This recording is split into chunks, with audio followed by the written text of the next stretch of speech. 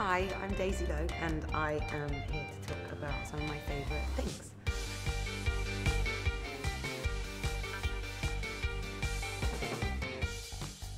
This dress, this is the naughtiest thing I've ever bought.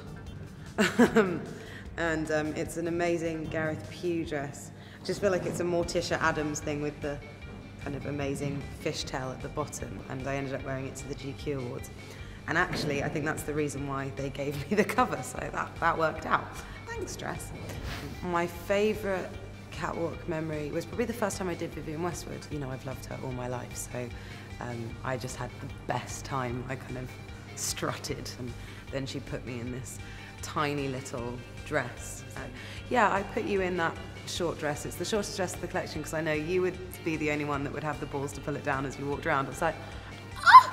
And kind of had to keep like shoving it down as I walked around, but kind of doing some winks along the way. So this is my new handbag that I'm completely attached to and can't go anywhere without at the moment. Um, it's a Miu bag. It's like an old school doctor's bag. It looks really, you know, old and classic. I love the colours and I'm completely in love. this is actually, this is my favourite style of Acne jeans.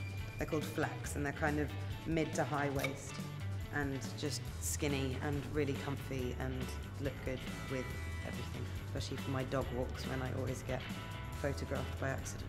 This is a Giles Deacon dress that um, just makes me feel like a fairy princess.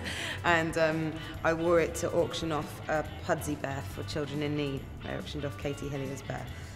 This I just wear forever. Um, this was my first Christopher Kane purchase.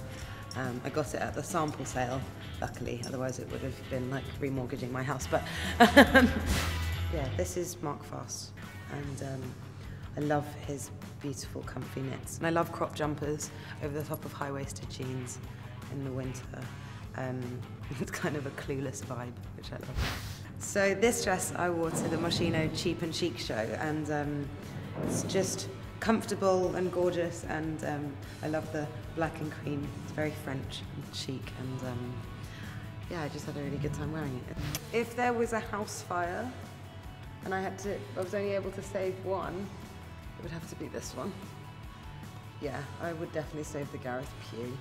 I mean, it would be a real shame to let these, these burn. Um, I'd try and grab the jacket too, but, and the Giles, but the Giles. No, but this is really the one I'd have to save.